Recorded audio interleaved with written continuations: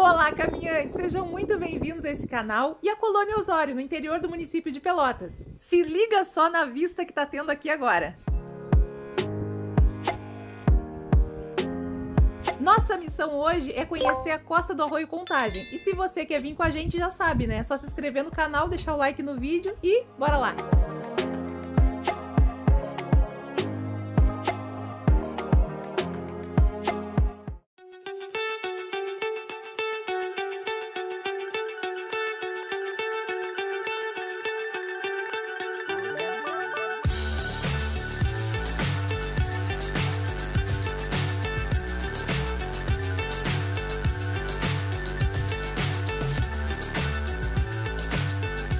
Oi pessoal, tudo bem com vocês? Hoje o Urbanista Caminhante começa aqui. Nós estamos na sede do distrito de Cerrito Alegre, na cidade de Pelotas. O nosso ponto de referência aqui para a partida de hoje é a UBS aqui de Cerrito Alegre. E se você não sabe como a gente chegou até aqui, vai ficar um vídeo linkado aqui em cima no card que mostra direitinho, passo a passo, as nossas andanças aqui por esse distrito.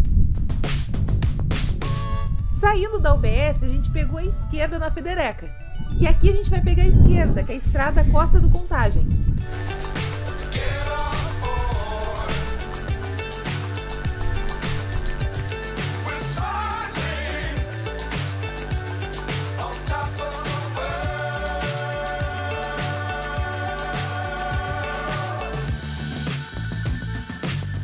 times don't fly too high.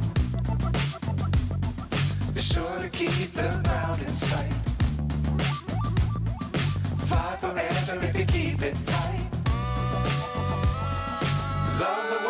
Sky on your mind.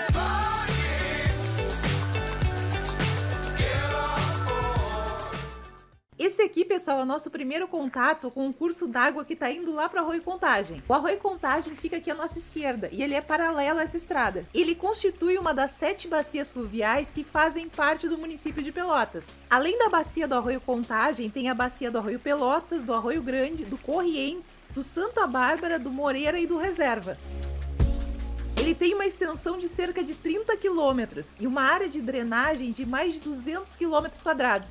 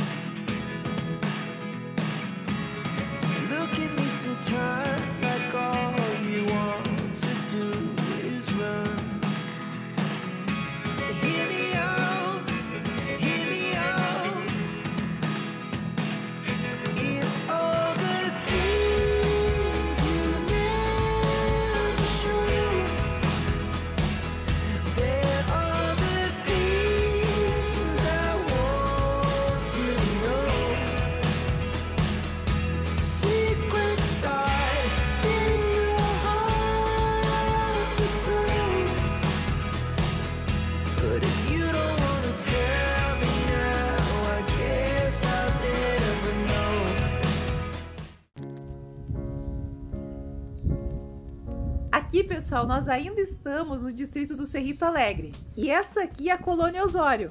Aqui no canal a gente já visitou um pouquinho da Colônia Osório. E isso não faz muito tempo não, foi uns episódios atrás.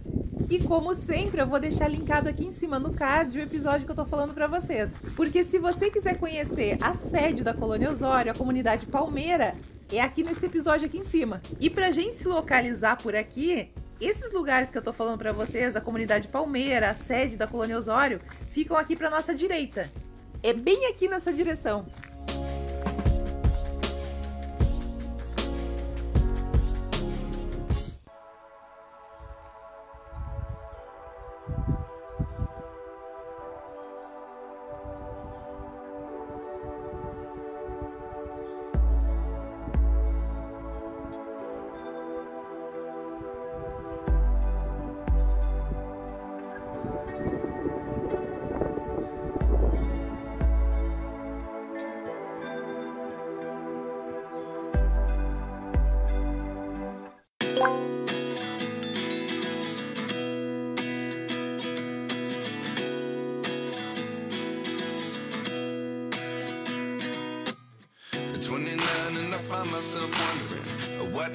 To the last 10. I ran away with my life, fast forward, never turn back again. It's kind of funny that the more we pass time, the more we need to set the rewind. And 19 was the year I had to leave you, but now I'm seeing all the signs. Is this Aqui nós estamos numa região denominada Serra dos Tapes, que faz parte do Planalto Uruguaio Rio Grandense. E esse nome é porque ele realmente ocupa uma parte do extremo sul do Brasil e o norte do Uruguai. Eu acho que eu até já falei isso em outro vídeo, mas de qualquer forma, a Serra dos Tapes está presente na cidade de Pelotas, São Lourenço do Sul, Turuçu, Arroio do Padre, Canguçu, Capão do Leão e Morro Redondo. Então são basicamente todas as cidades que a gente tem andado. Turuçu eu acho que é a única cidade que a gente não parou ainda, mas ela já apareceu em vídeo aí no meio do caminho. E durante as nossas andanças por aqui, a gente já falou bastante sobre a colonização europeia, né? Principalmente a pomerana. Mas também falamos um pouquinho sobre os italianos, os franceses, os quilombolas também não podemos esquecer deles. Só que aqui na Serra dos Tapes houveram diferentes tipos de ocupação ao longo do tempo. E a primeira ocupação que se tem notícia é indígena, principalmente Guarani. Inclusive eu li alguns trabalhos sobre alguns achados arqueológicos aqui na Serra dos Tapes. São artefatos indígenas super antigos, enfim. Aí depois, outra ocupação super marcante aqui na Serra dos Tapes foi a ibero-americana, que foi aquela resultante da expansão portuguesa, espanhola.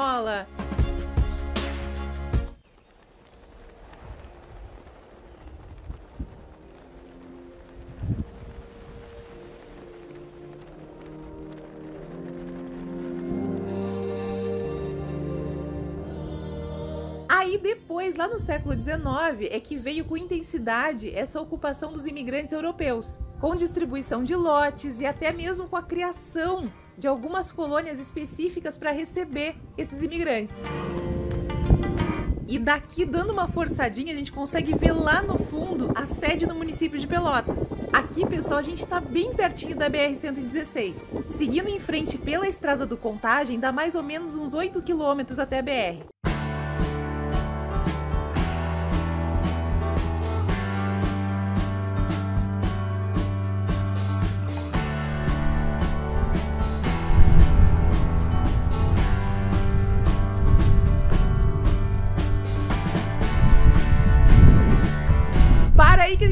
Coisa importante aqui agora. Ali naquele azulzinho, pessoal, é o Arroio Contagem. Ali atrás ele forma uma espécie de uma lagoa.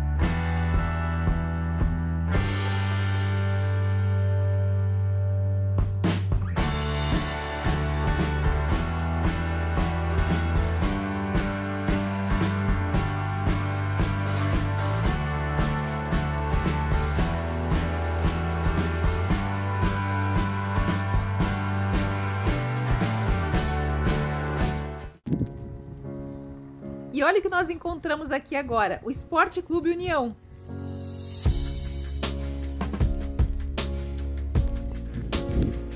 Esse é um dos clubes de futebol amador aqui da colônia de Pelotas.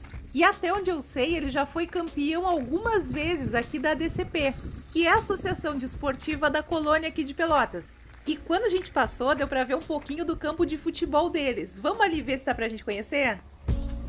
E enquanto a gente chega lá, eu vou contar para vocês um pouquinho da história do clube. Ele foi fundado no dia 20 de setembro de 1979. E esse estádio onde a gente tá é conhecido como Estádio dos Eucaliptos. As cores do time são o branco e o vermelho, então o pessoal que é colorado deve se sentir totalmente em casa aqui. E o mascotinho deles é um gambá. Até acho que eu já vi ele ali na parede. Mas vamos aqui pro campo primeiro.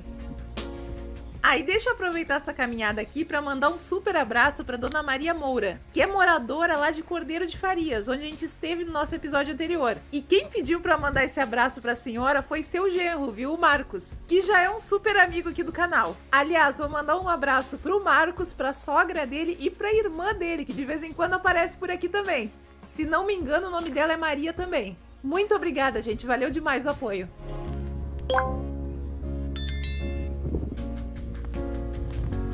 E aqui tá ele, ó, pessoal. Falei pra vocês, o gambazinho. Pepe Legambá, o famoso Pepe Le Pew. Ele fica aqui tomando conta do estádio e de olho nos títulos aqui do pessoal.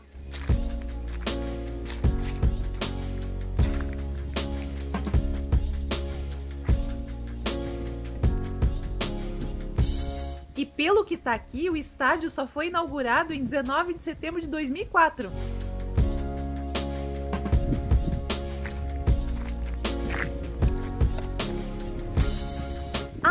Coisa que eu não posso me esquecer é que eles são super conhecidos também pelo tradicional baile de chopp. Até por isso que até o gambazinho tá segurando um caneco de chopp ali. É mais uma prova que o pessoal aqui da Colônia Osório sabe se divertir. Bem legal, né, pessoal? Agora vamos voltar para a estrada para continuar no nosso caminho. Bora lá!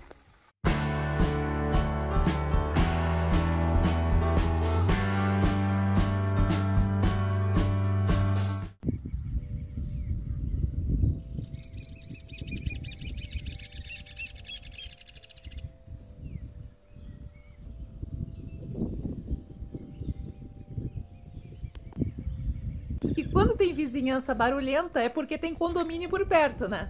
Normalmente, quando o condomínio é mais agitado, é de caturrita, que são os bichinhos mais sociáveis, né? Fazem aqueles baita condomínio cheio de portinha. Só que por aqui o que nos surpreendeu foi a quantidade de casinha de João de Barro. E aqui a gente achou uma em cima da outra, ó. Tem um certo distanciamento, porque o João de Barro é um bichinho um pouquinho menos sociável. Ele é um pouquinho mais reservado, digamos assim. E o feliz proprietário da casinha tá ali, ó, só nos cuidando. E eu falei para vocês que a gente tá super pertinho da BR-116, né? Então, pera aí que agora eu vou provar. Vocês estão vendo aqueles carros, caminhões passando ali? Então, ali já é a BR. Para a gente acessar a BR, a gente teria que seguir aqui para nossa esquerda, que era a direção que a gente estava seguindo. Mais ou menos uns 4,5 km a gente estaria lá.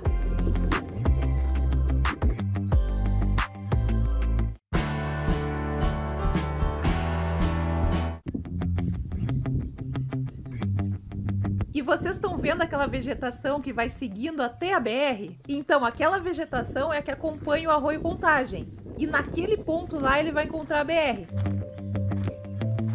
Bem na nossa frente, aqui na descida, tem essa mancha azul, que é aquele lago formado pelo Arroio Contagem um pouco antes de chegar na 116. Lago sou eu que tô falando, tá, pessoal? Não sei se é esse o termo correto. Até porque no mapa ele não aparece com um nome específico. Mas olhando pelas imagens de satélite, dá pra ver bem direitinho um bolsão de água que se forma com as águas do arroio Contagem bem naquele ponto. E outro arroio que vem desaguar por aqui também é o arroio Pereira.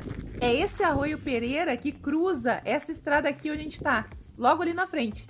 Só para lembrar, a gente continua indo pela estrada Costa do Contagem.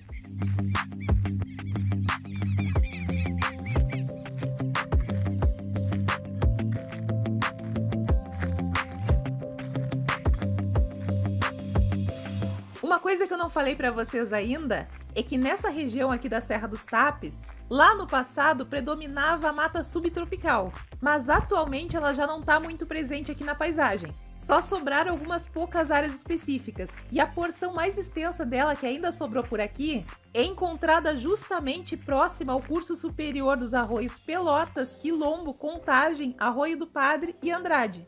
Então, são os resquícios de mata que ainda são encontrados próximos a esses arroios. E aqui eu achei que se a gente continuasse caminhando para lá, a gente ia conseguir ter uma visão melhor do Arroio Contagem. Mas nitidamente isso não está acontecendo. Por quê? Quanto mais a gente caminha para lá, mais o relevo baixa. E aí a vegetação tá tomando conta, tá tapando tudo. A manchinha azul ali tá sumindo completamente. Mas eu vou dar um zoom aqui pra gente não perder a caminhada, tá? Mas só me diz se não valeu caminhar até aqui. Olha o que a gente descobriu. Uma casinha de João de Barro bem de pertinho. E a gente não consegue ver o fundo da casinha exatamente porque ela foi construída para dificultar o acesso de predadores. Então eles constroem essa paredezinha curva e bem estreitinha e o ninho mesmo fica atrás dela. Dá para dizer até que a casinha do João de Barro é composta por dois cômodos.